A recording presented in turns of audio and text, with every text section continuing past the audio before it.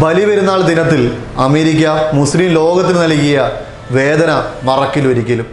സദ്ദാമിനെ പേടിച്ചിരുന്ന ഭീരുക്കൾ സദ്ദാമിനെ രഹസ്യമായി തൂക്കിലേറ്റുമ്പോൾ ധീരതയോടെ തൂക്കുകയറിന് മുൻപിൽ തലകുമ്പിടാതെ വിശുദ്ധ ഖുർആൻ നെഞ്ചോട് ചേർത്ത് കലിമ ചൊല്ലി ഷഹീദാവാൻ ഭാഗ്യം ലഭിച്ചതാണ് സദ്ദാമിന്റെ ചരിത്രം.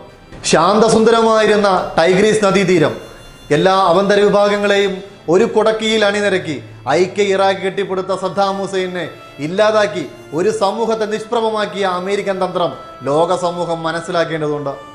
ഇസ്രയേലിനും അമേരിക്കയ്ക്കും എതിരായി ചങ്കുറപ്പോടെ നിലകൊണ്ട ഒരു ഭരണാധികാരി എന്നതാണ് സദ്ദാം ഹുസൈൻ എന്ന മുൻ ഇറാഖ് പ്രസിഡന്റിന്റെ ജനപ്രിയത വർദ്ധിപ്പിക്കുന്നത്.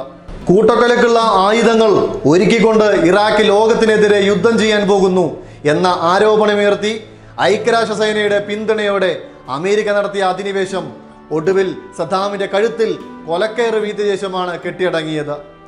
രാസായുധം സംഭരിച്ചുകൊണ്ട് ഇറാഖ് അമേരിക്കയെ ആക്രമിക്കാൻ പോകുന്നു എന്ന് ആരോപിച്ചുകൊണ്ട് രണ്ടായിരത്തി മൂന്ന് മാർച്ച് ഇരുപതിന് അമേരിക്ക ഇറാഖ് അധിനിവേശം ആരംഭിച്ചു.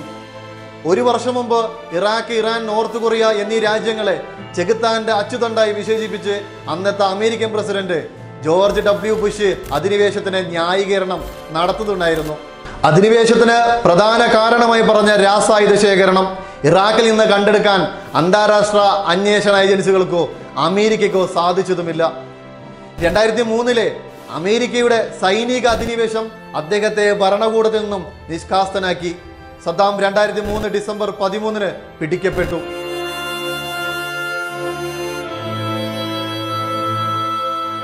നവംബർ അഞ്ച് രണ്ടായിരത്തി ആറിൽ അദ്ദേഹത്തെ മനുഷ്യത്തിനെതിരായുള്ള കുറ്റങ്ങളുടെ പേരിൽ വധശിക്ഷയ്ക്ക് വിധിച്ചു. സദ്ദാമിന്റെ അപ്പീൽ ഇറാഖിലെ പരമോധന കോടതി രണ്ടായിരത്തി ആറ് ഡിസംബർ ഇരുപത്തി ആറിന് തള്ളി. സദ്ദാം ഹുസൈൻ രണ്ടായിരത്തി ആറ് ഡിസംബർ മുപ്പതിന് രാവിലെ ആറു മണിക്ക് തൂക്കിലേറ്റപ്പെട്ടു.